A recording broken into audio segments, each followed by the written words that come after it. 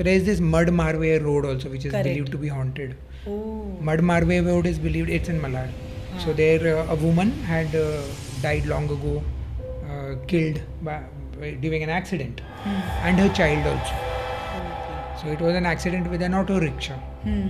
So it's believed that uh, she now targets the Everyone. people, the motorists who go on that route. So if she will see appear as a woman with a child, if you stop, then that's your last stop.